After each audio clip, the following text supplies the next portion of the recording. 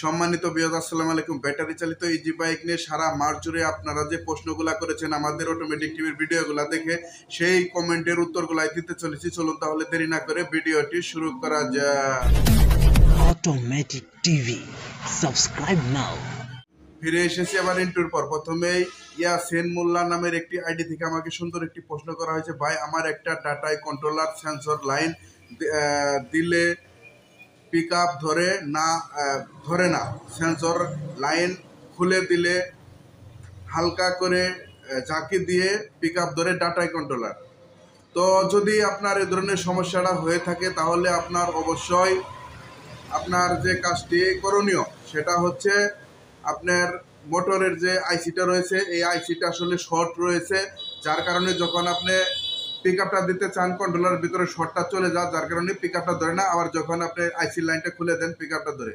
তো অবশ্যই মোটরের আইসিটা পরিবর্তন করবেন, আপনার সমস্যাটা সমাধান হয়ে যাবে। আশা করি আপনার প্রশ্নের উত্তরটা শানুল হক নামের আরেকটি আইডি থেকে আমাকে সুন্দর আরেকটি প্রশ্ন করা হয়েছে কমেন্টের মাধ্যমে। আমি যখন সিরিজ লাইন এসি কট লাগাই, তখন সিরিজ লাইনে বাল্বগুলো জ্বলে ওঠে, কিন্তু সার্কিট পাওয়ার লাইন জ্বলে না। এক্ষেত্রে কি করতে হবে। তো ভাই আসলে রিক্সার যে চার্জার রয়েছে, সেই চার্জারের ক্ষেত্রে এই ধরনের সমস্যাটা পেয়েছে। কারণ চার্জারের ভিডিও দেখে কমেন্টটা করেছিলেন তো ভাই আসলে আপনার যে পাউডার ব্যাটারির চার্জারটি রয়েছে, সেই চার্জারটি আপনার এটা বোঝার বাকি নেই। আপনার এসি সাইডে শর্ট রয়েছে। ঠিক আছে? যে তিন পাওয়ালা যে চেয়ারটা সেই চেয়ারটা শর্ট রয়েছে। যার কারণে লাইন দেওয়ার সাথে সাথে সেই লাইন জ্বলে ওঠে। অবশ্যই আপনার চার্জারের শেয়ারটা পরিবর্তন করবেন, দেখবেন ঠিকভাবে আপনার চার্জারটা অন হয়ে গেছে। আশা করি আপনার প্রশ্নের উত্তর রহমান নামের আরেকটি আইডি থেকে আমাকে সুন্দর আরেকটি প্রশ্ন করা হয়েছে। ভাই, আমার ব্যাটারির বয়স আট মাস, কিন্তু আমার গাড়ির লোড দিলে অনেক আস্তে চলে আর বেশি পানি খা সপ্তাহে দুইবার সপ্তাহে দুইবার কি সমস্যা বুঝতে পারছি না। অর্থাৎ ভাই বলতে চাইছে আপনার ব্যাটারিতে বেশি পানি খা ব্যাটারিতে আসলে বেশি পানি খাওয়ার জন্য বেশ কিছু কারণ রয়েছে। সেটা হচ্ছে আপনাদের যে ব্যাটারির ভিতরে অ্যাসিড গ্যাবার্টিংটা থাকে, সেই অ্যাসিড গ্যাবার্টিংটা যদি সঠিক না থাকে, তাহলে বেশি পানি খেতে পারে। আর আপনি যদি দীর্ঘক্ষণ চার্জ দিতে থাকেন সেই ক্ষেত্রে ব্যাটারির পানি বেশি খেতে পারে। অবশ্যই আপনি এই ধরনের সমস্যাগুলো এড়িয়ে চলবেন, তাহলে আপনার ব্যাটারির পানি আশা করি কম খাবে। আর তারপরেও যদি বেশি খায় অবশ্যই এই সিটটা একুরেট করে নেবেন। আশা করি আপনার প্রশ্ন জানা সিট চাকমা নামের আরেকটি আইডি থেকে আমাকে সুন্দর একটি প্রশ্ন করা হয়েছে ভাই এ সিট বারোশো কি নাকি তেরোশো দিলে ভালো হয়? তো আসলে আপনি কোথায় এসিড দিতে চাচ্ছেন সেটা অবশ্যই বিস্তারিত লেখেন নাই। যদি আসলে নতুন ব্যাটারিতে আপনি এসিড করতে চান, সেই ক্ষেত্রে পনেরো তেরোশো এসিড করবেন।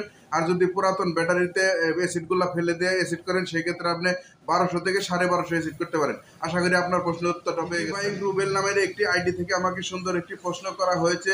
ব্যাটারি চালিত ইজি বাইকের যে ব্যাটারিগুলো রয়েছে, সেই ব্যাটারিতে আসলে গরম পানি দেওয়া যাবে কিনা? আপনি, আমি বুঝতেছি না আপনারা আসলে কেন যে এই ধরনের কোয়ান্টিটি করতে যান আপনারা গরম পানি কিনে দিতে যাবেন। একটি ভাই লবণের পানি দিচ্ছে আর একটি ভাই গরমের গরম পানি দিতেছেন কেউ বৃষ্টির পানি দিতেছেন এই ধরনের কাজগুলো আপনারা অবশ্যই করবেন না।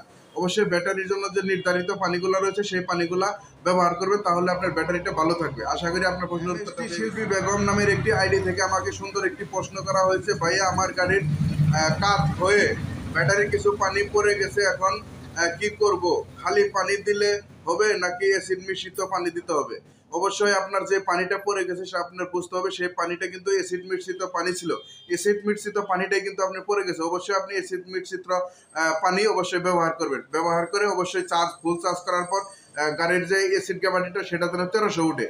আর চার্জ শেষ হলে যেন এগারোশো থাকে।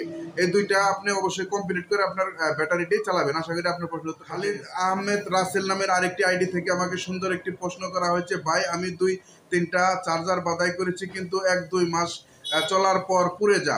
দশ হলে চার্জার বাদাই করার বেশ কিছু নিয়মকানুন রয়েছে। তাছাড়া ফাইবারগুলো পেঁচানোর এবং কি কটন কাপড় পেঁচানোর আসলে আপনি যদি বেশি কটন কাপড় পেঁচান সেই ক্ষেত্রে পুড়ে যেতে পারে। আবার কম যদি কটন কাপড় পেঁচান সেই ক্ষেত্রে কিন্তু পুড়ে যেতে পারে। তাছাড়া তারের ইনসুলেটিং হয়ে কিন্তু চার্জারটা পুড়ে যেতে পারে। অবশ্যই তারের পেজ সংখ্যা অবশ্যই যদি কম দিয়ে থাকে, সেক্ষেত্রে চার্জারটা গরম হয়ে পুড়ে যেতে পারে। বিভিন্ন কারণে কিন্তু আসলে এই ধরনের চার্জারগুলো পুড়ে থাকে। তো অবশ্যই সমস্ত নিয়মকানুন সঠিকভাবে দেখে আমাদের অটোমেটিক টিভিতে ভিডিও দেওয়া আছে। কতটুকু তার দেবেন, কি দেবেন, বিস্তারিত নিয়ে ভিডিও দেওয়া আছে। আশা করি সেই ভিডিওটা দেখলে আপনার চার্জার আর পড়বে না। আশা করি আপনার কাজী আব্দুল মমিন নামের আরেকটি আইডি থেকে আমাকে সুন্দর আরেকটি প্রশ্ন করা হয়েছে। আমার একটি প্রশ্ন ছিল প্রশ্ন হচ্ছে শুকনো ব্যাটারি ভালো নাকি ভিজা ব্যাটারি ভালো? দয়া করে উত্তরটি দিবেন। তো ভাই আসলে জানতে চাইছেন তার গাড়ির জন্য শুকনা ব্যাটারি নাকি ভিজা ব্যাটারি কোনটা ভালো? অবশ্যই এসিড ব্যাটারিটা বর্তমানে ভালো তার কারণ সেটা লংজিভিটি এবং কি হাই কোয়ালিটি ব্যাটারি। সেটা আসলে ইজি বাইকের ক্ষেত্রে কিন্তু এসিড ব্যাটারিটা অনেক আসলে আপনার হেভি ব্যাটারি তার কারণে আমি অ্যাসিড ব্যাটারি কিনারই সাজেস্ট করব। আশা করি আপনার প্রশ্ন আরেকটি ভাই সুন্দর আরেকটি প্রশ্ন আমাকে করা হয়েছে এই অটোমেটিক টিভিতে কমেন্টের মাধ্যমে। শাহজাদা কুমিল্লা নামের একটি আইডি থেকে আমাকে সুন্দর আরেকটি প্রশ্ন করেছে ভাই আমি একটা বিষয় আপনার কাছ থেকে জানতে চাই। কন্ট্রোল বক্সের এমন কোনো যন্ত্রাংশ আছে? নষ্ট হলে ঘন ঘন ম্যাগনেট চলে যায়।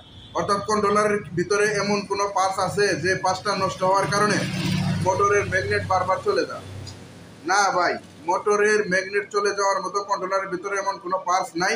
তবে মোটরের বিভিন্ন ধরনের শর্ট সার্কিটের কারণে মোটর বডি হওয়ার কারণে পাশাপাশি মোটরের ভিতরে যে শেপের বেয়ারিং রয়েছে সেই বেয়ারিংটা সমস্যা হওয়ার কারণে লুজ হওয়ার কারণে আসলে যখন ম্যাগনেটটা কয়েলের সাথে ঘষা খা তখনই একমাত্র ম্যাগনেটটা চলে যায়। আশা করি আপনার প্রশ্ন উত্তরটা আরেকটি ভাই সুন্দর একটি প্রশ্ন করা হয়েছে নিবাস দাস নিবাস দাস নামে আরেকটি ভাই আমাকে সুন্দর একটি প্রশ্ন করা হয়েছে ভাই আমার কাজ করার খুব ইচ্ছা কীভাবে আপনার সাথে যোগাযোগ করব? অবশ্যই আপনারা যারা আসলে ভিডিওগুলো সম্পূর্ণ দেখেন না, তারা কিন্তু আমাদের নাম্বারগুলো পান না। আর যারা ভিডিওগুলো সম্পূর্ণ দেখেন, তারা কিন্তু অলরেডি আমাদের কাছে যোগাযোগ করার জন্য নাম্বার পান। তাছাড়াও আজকের এই ভিডিওর মাধ্যমে সমস্যাগুলো সমাধান করার জন্য একটা হোয়াটসঅ্যাপ গ্রুপ খুলেছি। সেই গ্রুপের লিঙ্কটা এই ভিডিও ডিসক্রিপশনে দেওয়া থাকবে। আপনাদের যে কোনো ধরনের সমস্যা হোক, এই গ্রুপে ঢুকে আপনি, আমি সহ আরও বেশ কিছু বিশেষজ্ঞ ইন্ডিয়ান সহ চায়না সহ বেশ কিছু মিস্ত্রি রয়েছে। যে ধরনের মিস্ত্রিরা আপনার প্রশ্নের উত্তরটা দিয়ে দিবে হোয়াটসঅ্যাপ গ্রুপে গ্রুপের যে লিঙ্কটা রয়েছে, আমি এই ভিডিও ডিসক্রিপশনে দিয়ে দিব। আপনি দয়া করে লিঙ্কে ক্লিক করে গ্রুপে জয়েন হবেন। জয়েন হয়ে আপনি রাতের দশটা থেকে সারা রাত পর্যন্ত সেই গ্রুপে ট্রেডিং করতে পারবেন, কথা বলতে পারবেন বিভিন্ন মিস্ত্রির সাথে। তাছাড়াও এই ভিডিওর মাধ্যমে আমি মোবাইল নাম্বার দিয়ে দিচ্ছি। আপনারা লিখে নেন zero one nine two six five one three four double zero. অবশ্যই যারা কাজ শিখতে চাচ্ছেন, অবশ্যই যোগাযোগ করবেন, কারণ এখন আমাদের সেন্টারে ছাত্র অল্প একবারে সীমিত হয়ে গেছে। ইতিমধ্যে আপনারা জানেন বেশ কিছু বাইকে আমরা কাজ শিখে বিদায় দিয়েছি। এখন আবার নতুন করে ছাত্র নিতেছি। এখনই আপনি যোগাযোগ করুন। ধন্যবাদ।